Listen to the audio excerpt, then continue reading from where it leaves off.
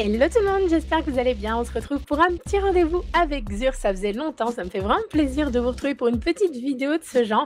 Ça faisait un moment que j'en avais pas fait, du coup, bah, c'est l'occasion pour moi de reprendre un petit peu des vidéos sur Destiny. Je peux vous avouer que je suis plutôt contente.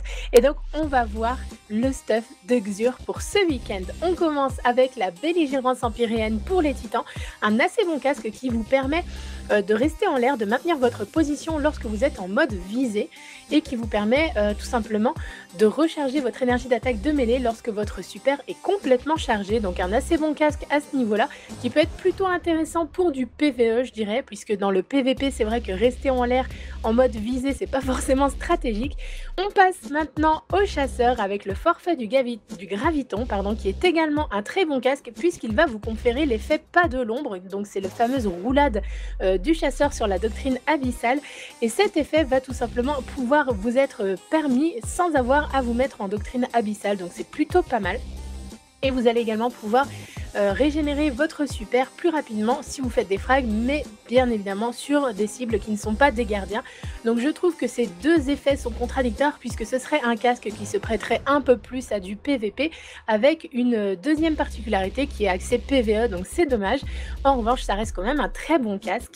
Et pour les arcanistes, les menottes du non-être qui sont de très très bonnes, euh, de très bons gants si vous les utilisez notamment avec la doctrine abyssale, puisqu'il va tout simplement ajouter une charge de grenades supplémentaires sur les grenades à dispersion qui sont donc les grenades de l'arca abyssal et elle va également, euh, cette, euh, ce gantelet, ajouter un effet de guidage aux sous-munitions des grenades à dispersion. Donc on est vraiment axé sur l'arca abyssal. La portée des grenades sera augmentée. Bref, si vous jouez arca full grenade, cet équipement est fait pour vous. On continue avec la télécommande universelle, un excellent fusil à pompe exotique pour les joueurs de PVP. Je pense que vous savez tout de suite de quoi je vais vous parler. Une très bonne arme qui ici porte des capacités qui permettent d'augmenter la précision et la portée. Donc forcément sur un fusil à pompe c'est tout de suite plus avantageux.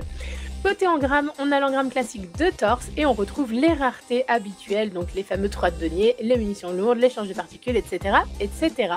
En ce qui me concerne, je possède donc tous ces équipements, euh, y compris la télécommande universelle. L'engramme ne m'intéresse pas, donc une fois de plus, pour cette semaine, je pense que je vais m'orienter vers les 3 deniers.